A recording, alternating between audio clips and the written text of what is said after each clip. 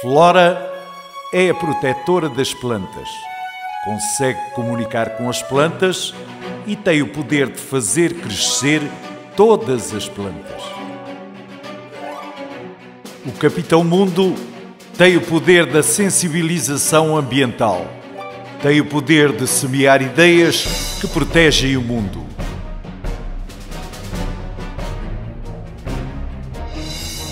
Amaralis é a protetora da fauna. Com a flor encantada, tem o poder de curar todos os seres vivos ao seu redor.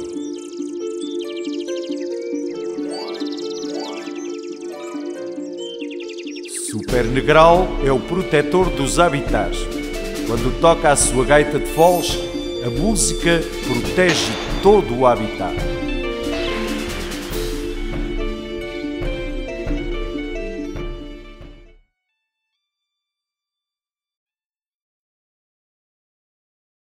Visita a Cascata do Arado. É uma das mais bonitas do Parque Nacional de Peneda Gerês.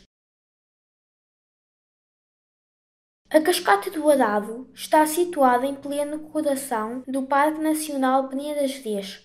É uma das maiores e mais famosas quedas de água do parque.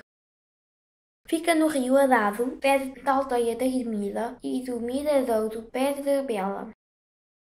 Como está a 900 metros de altitude, esta cascata é formada por uma sucessão de cascatas que descem pelo meio das rochas. Aproveita e tira umas fotos quando visitares a cascata do Arado.